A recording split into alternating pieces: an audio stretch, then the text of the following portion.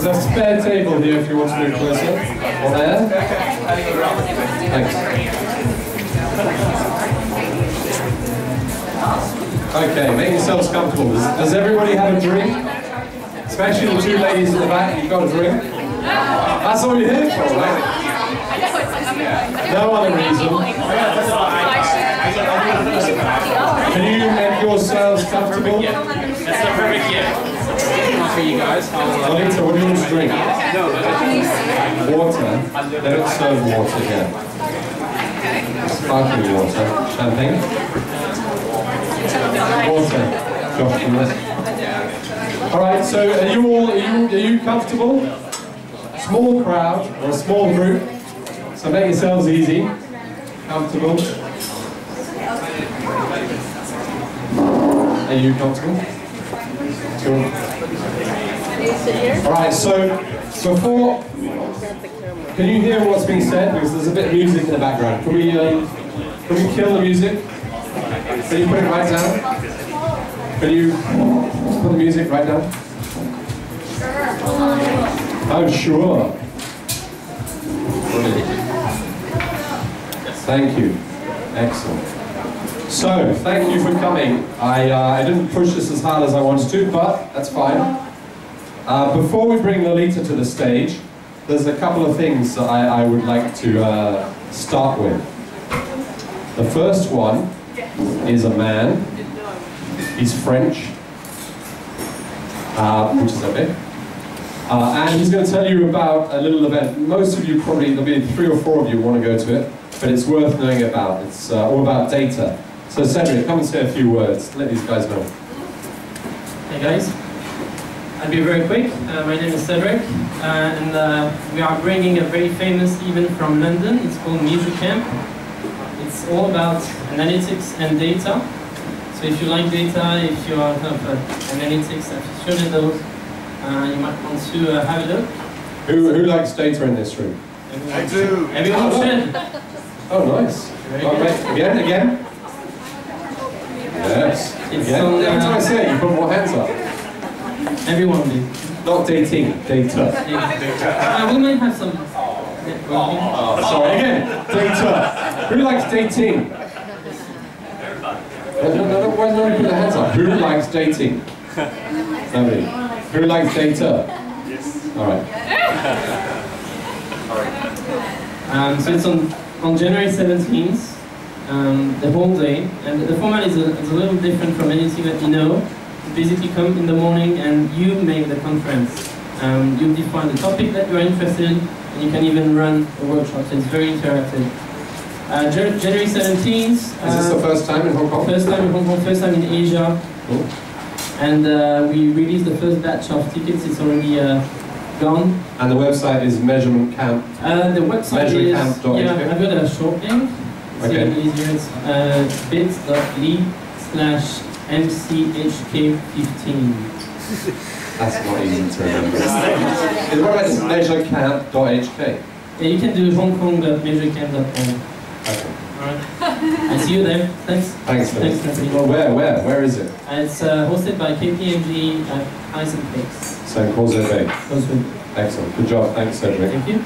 By the way, one other thing Cedric does, tell them about your group. Yeah, foundation. No, what's called Founders. Alright. I also That's run cool. an early stage startup incubator called Founder Institute. Um, it comes from the US and we help uh, first time entrepreneurs. Just created our first batch with some very successful uh, projects. One of them just got accepted to uh, Cyberport incubation program. Uh, so have a look, fi.co. And how many of them are female? Uh, That's the topic say tonight, Actually, actually a good 50%. Uh, Oh, yeah? that's a- Woo! yeah. Hong Kong. Hong Kong is ahead of America, I'm telling you. fi.co, that's an easy That's one. fi.co. No, thanks. Good job, Cedric. Thank you. All right. So, uh, before Lolita comes on stage, I got this rather weird email yesterday that said, I've just launched a website. It's called Confident Lover. And I thought, oh my god, it's a spamming thing. I better, I better be careful, but I clicked on it anyway. And it's actually a website that teaches you about certain things. So lucky, luckily, the lady who set it up, who's an entrepreneur, is here. So Christine's going to say a few words about her website. Some of you might be embarrassed. If you are, please leave now. Some of you might be, oh my god, finally. I was, oh my god, finally. So let's uh, a warm round of uh, welcome for Christine.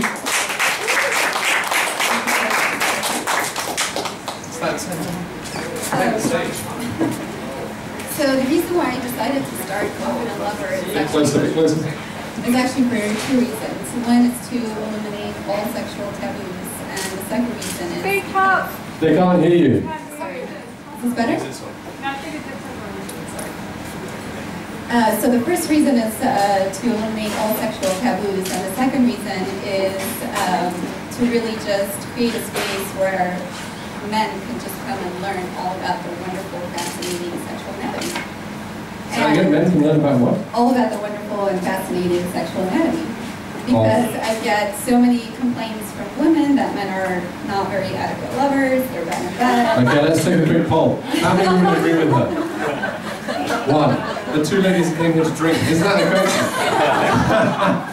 How many men agree with her? None. The Frenchman. Excellent. And I really don't think that it's fair to really blame men because where do men go to learn about sexuality and to learn all about all The church. I went to the church. What did you learn from church? In the Catholic That Church. bad? The Catholic Church is Be regular- ashamed and No, it teaches you about don't men. touch yourself? About men. Um, so I decided to create this wonderful website because I really don't think that men really have a place of reference other than porn. And porn is really a masturbation tool, not a point of reference. So what is the name of the website? ConfidentLover.com. Can you remember that? Which of these three websites can you remember? ConfidentLover.com, fi.co, bit.ly.mc15. Is that it? Confident what? Which one, which one are you going to remember when you leave tonight? Confident what? Confident or competent? Confident, not uh, competent. That's good. Confident Lover, I should buy that URL. Here, get that URL quickly. Absolutely. Interesting. So, so how do you get content for your website? Um, I do believe in the law of authenticity, and I've done 10 years of research. Uh, so I've. So are you are you a, are you a qualified sexologist, or is that what they're called nowadays? I think I'm think, I think I'm more of a sexual uh, scientist because I do want to learn from Eastern cul- cultures as well as Western cultures all about sexuality, and I do practice and teach what I what I learn. So I Brilliant. think yes, absolutely. I do Um, believe that that's the there's a slot way. for you at Measure Camp. Oh, that's- The, the, the Cedric's event. There's a slot for oh, you. okay. Fabulous. Data, the data of the data of, of G spots.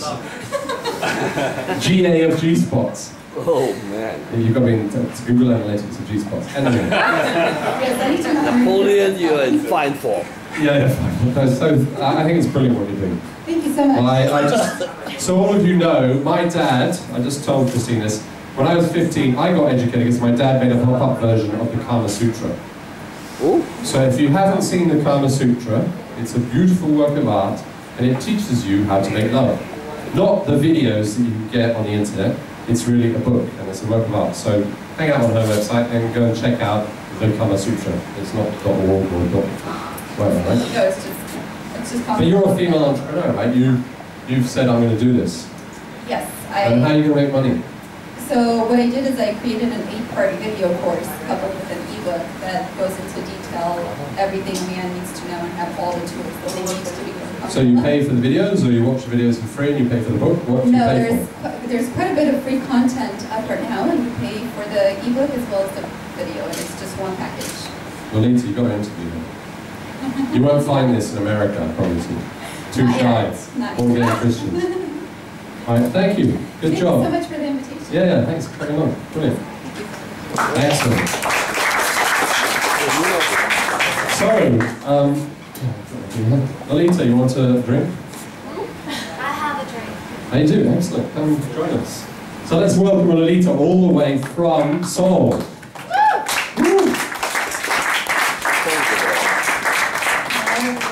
oh, Can everyone hear me, or should I speak louder? Louder. Louder. Louder. Louder. Excellent. Louder. Deeper too. Do you like that? Yeah. now we're talking. Doesn't make any difference. So I met Lolita on the internet. It wasn't at Confident Lover. It wasn't. It was a ditched lover. It wasn't a good first date. No, it wasn't a good first date. No. So uh, Lolita was introduced to me. Is he here? The guy who introduced us. No. Um, through a fellow entrepreneur, and Lolita said, I'm traveling the world and I want to interview some female entrepreneurs in Hong Kong. And I said, why? Um, of which is one here, he's just pointed himself No. I said I've got lots. So You've got lots. I'll lots. Talk to you later. She'll talk to you later. Who are you? Huh? Who are you? It's like stand up. It's like stand up comedy. No, Yeah. actually, my name's Marika. And why have you got lots of female entrepreneurs? Do you have a Uh, farm of female? No, because I've, I've up a dinner club Oh, nice. Called for female called the Power of Ten. The Power of Ten. Yeah, we put, Brilliant. put ten women together and just chat about entrepreneurial things, and it's all about exponential growth. There you go. Wow. A perfect illustration of Hong Kong. My, my, Thank you for coming tonight. Brilliant. of course, my group is better. Uh, Peter's got a group too. We're going to do some heckling here. Peter, what's your group called? Pandas Angels Network, of course. Pandas? Angels Network. Pandas Angels. Yeah. Like Charlie's Angels. No, nothing like. Oh, okay. Anyway, back Much to you. better than Charlie. So, so you're traveling the world, right? I am. Yes. Well, what happened? Did you not like America? You're like, I've had enough. It's far too cozy. I live in a big house. and a big car, Uh, and I work for IBM. Actually, that is kind of the story. Uh, so, I mean, so many of us, I think, go into the corporate world very excited to live this happy and fulfilling life that our parents told us that we would live. Right? You go to college, get the job, the big company, IBM, Cisco, whatever it may be. Those were the two for me. And it's all really great, and you feel part of this moving machine, especially with technology, right? Smarter Planet with IBM, or Smart Connected Cities, or something The Internet like of. Everything, right? The that- Internet of Everything with Cisco. And it's all really great. Uh, but then certain things may happen in your life, like losing a parent. For me, it was definitely losing a parent. My dad died five years ago. And that really caused me to stop and think about what am I doing with my life? and- Why do you have to lose a parent to stop? I lost a parent too. But why do you have to lose? I don't understand. Why do you have to lose a parent to stop? I know that's a cheeky question, but why do you have to lose a parent You, to stop? you do, have you do. But I guess when you're young, as well, at least I'll speak for myself.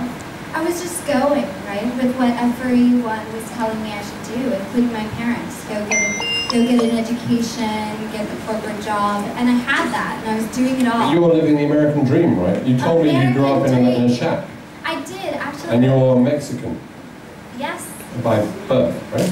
yes, by birth. I actually grew up in a garage. You did? Yes, my father. But that's perfect for the tech industry. You can do a startup tomorrow. It's cool to grow up in a garage. Look at Mark Zuckerberg. Look at HP. Living in a Google. garage is different. Apple. That's right. Well, it's So no, I want to know. So you started in the garage, and then you were like the American dream. I'm living it. I got into college. I've got a job at a massive company, a blue chip company, and I'm a woman working in technology. I'm cool. I'm really, really cool. So I lose my dad, and it makes me think about how what it really means to be cool. And So what did it mean to be cool before you lost your dad? everything I did already. Was cool. Yeah, Were successful. you making a lot of money? I was making a lot of money. Uh, successful young female in technology. What else can you? Was that hard to be a successful young female in technology? It, it is and it's not. I mean, Okay. if you focus on it, maybe, but so long as you provide value, that's really what matters. And I was really sort of like, okay, so what's my job? To create value. As a strategy consultant, it was fix problems or reach goals, and as a sales executive, it was basically the same thing. Okay. So, So you were fixing problems, and you were good at it. yeah. No? Your dad died. Yeah, then my dad died, and it really made me think about how long do we have in, in, in our lives. Mm. And I decided that I would think about what I wanted to do in my bucket list, and that was to serve humanity. So my first stab at Sorry, surf humanity or serve humanity? serve Okay, so and not serve. So uh, I decided to go to Peace Corps actually, and I went to one of the poorest countries in the world, Burkina Faso. And that's pretty brave. Yeah. Was there a war going on there at the time, or, or not? Was I what? Was there a war? A wall. No, war, as in da, da, da, da, da. Whoa. Whoa, whoa, whoa, A whoa, whoa. Is there a war. war? Is there a war? Oh, thank you for your W A. pronunciation. Was there a war?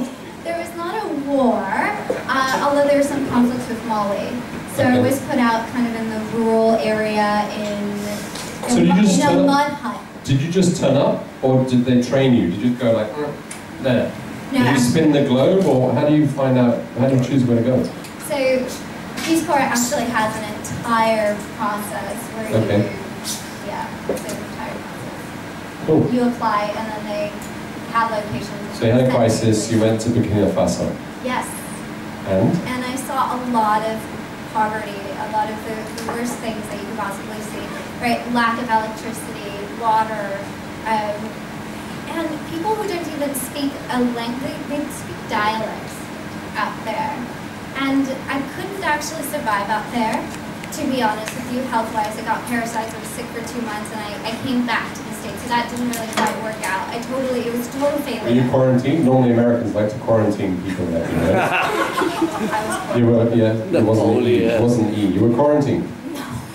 Wasn't an equal. Okay. No, people didn't know what I had. But that's okay. I They didn't know what you had. No, they didn't know. Didn't know what I had. Be sick now. No, um, yeah, so I basically went and it didn't work out, but it really made me think about could I ever go back to corporate and do what I was doing? And the answer was no. There was definitely this, this obvious need in the world uh, that I wanted to do more work to serve humanity, but I couldn't do it in Burkina Faso in this third world setting. And so I really had to ask myself, how could I? But you didn't see any like entrepreneurs in Burkina Faso? No. No, I- it was basically survival. It's really survival. Okay. It's really survival. So I came back and, and I was really frazzled. Now I had lost my father, I had parasites, don't know what sort of things I have. Were you married then, or? I was not married actually.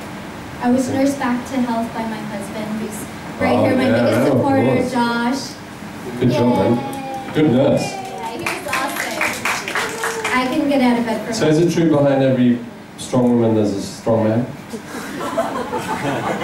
I think besides a strong woman is a strong man, and vice versa. Besides, I like the use of words. Besides. Besides. Yeah, so he was there for me. Um, yeah. So, so you came back, and then how do you get into this idea that um, there's women around the world who are entrepreneurs, and I want to tell their story? How does that How does that start? Because you know you did something pretty cool. You went to Peace Corps, right? That's pretty cool. And how do you say, well, I'm gonna travel the world and find other females who are doing brave stuff? Yeah, so I guess I was in, in, in this sort of fix where I was trying to figure out what am I going to do with my life, and I cannot go back to corporate. And actually, a small piece of the story, IBM was so amazing that this was actually a sabbatical. And so I really appreciate IBM, Cisco, corporate world is amazing. So sabbatical means you go away and they still pay you. Is that what it means? Well, this was an on-paid sabbatical. It means that they have a job. They keep you. your job for you. They, yeah, you're That's still in cool. play. So really, really phenomenal. Um, and I really love my job. I wanted to come back to it, but after working Burkina Faso, it was very difficult to just go straight back to corporate America. Where were you in America? Where? Where in Uh, America? at the time, I was in LA. LA. um, Okay.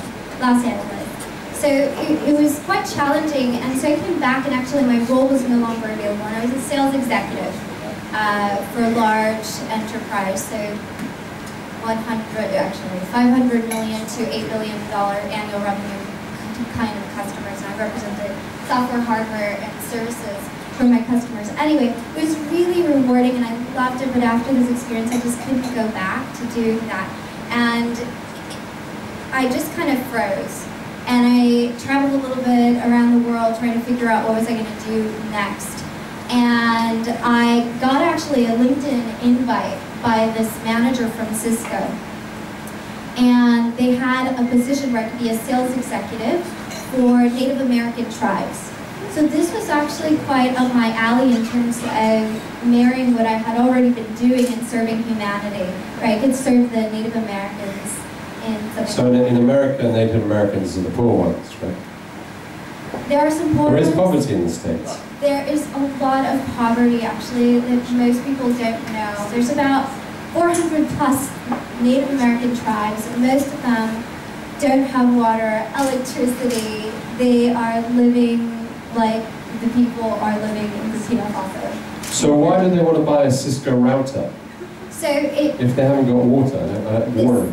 So, so what happens is, this is a very good question, is that there is about 10 to 15 percent of these tribes that actually have casinos. And so gaming is where they, they get their... So their they run the casinos, or, or the casinos just on They their land? own Or them. So they own what's them. so interesting about the Native American... it's like us in Macau, right? Native China, uh, native families, three families. Macau. Stanley Ho and, and his three families. I don't know the details of, of the... One guy, three wives. Okay, got it. Well, there's more than one guy and three, three wives. Uh, but essentially, there are about 10 to 15 percent of these 400 plus tribes uh, have casinos, and that's where they get their money, and they're very, very rich. So there's so much to learn from that end. But anyway, they they need a lot of technology to run these high-end casinos, and they are on their own land. So it's not considered Native American land. The reservations are not considered the U.S. They are their own little country. So if you will, Do you need a passport to get in there? no, you don't. So how, how, how does that transit? So you, you found, you got this job working with Native Americans, Yeah. and then how does that bring you into what you're doing now? Yeah, so so basically, this was the first time I was working with Native American tribes, and I had to figure out how to work with them. So I decided to go to a local university and take a tribal gaming course, and there I met. There is a tribal gaming course. Yes, that's actually an Is it called Clash of Clans? My son plays that, and it's got lots of tribes. Is that that's pretty good, is it? Tribal gaming. tribal gaming. Interesting. There's a course about tribal teaching. Actually, there's an entire there's entire programs that are dedicated for tribal management and tribal leadership, etc., that are put on by tribes. Okay. um, by some of the wealthier tribes. So I went to that and I actually met my mentor who is a chief for one of the southern uh, California tribes. Called. And What's the tribe called? Does it have a name? yes, it does. What's the tribe's name? Then it is- Okay. okay. Fine. It's been about six months since I resigned my corporate job. at Tyson. the tribe, yeah. So he, he's a chief for, for one of the tri- for one of the tribes, and he also works for the, the court system, actually. And he was my instructor, and he served as my mentor, really. In going to the class, I learned so much more about just tribal gaming, but also about being a tribal leader. And, and at the end of the day, it really got me thinking about what this man was doing. And I asked him actually, why are you here teaching a class when you're a tribal leader, have tons of money, and you don't need to be doing this? And he said, Lolita, because I am not just a leader, I serve my people, and I want to educate others about what is happening in, in, in the, the tribal nations. And that was really inspiring to me. And it really made me think about who is my tribe? Who is my tribe? And I, I started it, it started sort of triggered, triggered something in my head and, and, and I, I- looking back, I was thinking, well, I've been working with a lot of males, so is my tribe a, a technology male crew? No, not really. And then I sort of started getting into the, I'm a female, I'm a millennial, and there's this whole generation that's doing amazing things. I have a lot of friends that are doing amazing things, starting their own companies and empowering themselves. But then there are so many women that are not. But there is this ability for women to self-empower. And, and so all of this sort of in, in a long-winded type sort of, sort of way, I, I came down to the fact that, well, I want to serve my tribe, and this tribe is the female millennial tribe. And Female millennial. Is that the ones you call femme fou preneur, right? well, it gets Is that? I'm getting there. You're getting so, so female millennials is my tribe, right? So I. So can I just ask how many women in this room are female millennials? How many men in this room are female millennials? How many males Are are, attached to a female. millennials? That's a good question. I want to know. What know. does a millennial mean again? 18 to 33. It's a generation Y. Uh, I don't know, you've got that. Oh, there you go. Just. Just. I lost track. So you were, you were, you found your tribe as the female millennials, right? Okay, and then how does that become a, a trip around the world to discover fellow female millennials? Yeah, sure. That's Actually, I want to know how it becomes Femfupreneur, because that's really hard to remember and pronounce. Fair enough. So actually, um, I really went back to, I'm really introspective, so I went back and I was thinking about how I grew up, my humble beginnings, and knowing that the only way and the only reason why I got to where I got was because a lot of people around me supported me and, and empowered, helped me self-empower and empowered me. And the thing about it is that if I look at most of the female millennial population around the world, they don't necessarily have the same opportunities to have the education that I had or to be born in, in a country like America, right? And, and so I was thinking that in the it- would be great to promote this concept of having women go into the corporate field, but how many women can actually do that? And there is a large percentage to anyone who wants to argue that point. But how many more women can have access to being an entrepreneur versus just going to corporate? And that's really everyone. I mean, you have all sorts of flavors of entrepreneurship. And so I see it as a very accessible uh, path of self-empowerment. But then why didn't you just start your own startup? You were living in America on the West Coast. Why did you want to go and kind of set up a YouTube channel or a community? Uh, I can tell you from running Web Wednesday, there's no money in community, no. especially if you do it out of your heart. Yes, this is very, very true. So the F show is definitely from my heart. It's Yeah. costing me money. It's my savings for my corporate job. And I'm doing it and it's so well worth it. I mean, why do I do it? Because I believe there's nothing like it out there. Okay, so you decided, right, I found a tribe and I'm going to make something out of this. Yeah. What? So you, you, you know, you've got a show called I don't know, is it the F Show or is it the, The F hashtag Show. F Show? The F Show. You've got a show called the F Show, and you're building a community. So why why do you want to do this? Why use YouTube to build a show? What, what what's the idea behind the show? Well, those are a couple questions. So why use YouTube? Because millennials love video. Any Okay. social. So they won't read anything. They will read. They won't read video- Christine's website, The Confident Numbers. They all think they're They're all think they're, That's they're right. All millennials think they're good at making love, right? So, so YouTube, I mean, this is why. If you see the ratings in terms of who's watching YouTube, or I know, but we, we in Hong Kong we've had some YouTube heroes, right? Uh-huh. And all they do is they're teenagers, girls, selling makeup. And I'm not being condescending, it's true.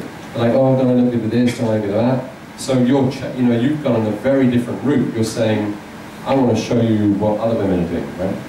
Correct? So tell us about the show. How does it work? So the show is about inspiring, supporting, and guiding female millennial future entrepreneurs. And and this is really to the point of in order it's it's so easy to be able to see someone that's like you, your age, your sex, see them doing something and then be inspired to do it yourself, to know that it's possible. And that is the number one goal that I have for the show is to inspire, to let every woman know that she can do whatever she loves and live the life she wants to live. And Is that what happens at your dinner for 10 thing? Same idea your dinner for 10? Um, You inspire each other? yeah, I guess that's it. Yeah, About right. possibilities. Possibility. Okay. So, and, and the second and third part are support and guidance. So, this community does need support. So, I've, I've put together a Femfupreneur, female millennial future entrepreneur group on Facebook. And anyone around the globe can connect with other entrepreneurs and female millennials as well. In fact, And are they doing that? Are they? Are you seeing people coming together? So we've just started, right? And the show hasn't actually started, until, it won't start until next year, but we have about 100 And who's your who, who does the camera work? My husband does. Yes. He's awesome. So how many interviews have you done so far? So far I've done about 20. Twenty. 20. In in which countries? We've gone to Australia, New Zealand, Indonesia, uh, Singapore, Thailand, Japan, Korea, and now we're here. So So, so you're doing sixteen, right? we're doing 16. Why did, how did you choose those 16 Well, some of them were chosen based on the fact that have beaches? I, wa- I wanted, I, we both, my husband and I both wanted to go visit. But also, I mean, if, if you, if you were to look at the list holistically, we're trying to represent different regions around the world. Ideally, we'd represent all regions around the world.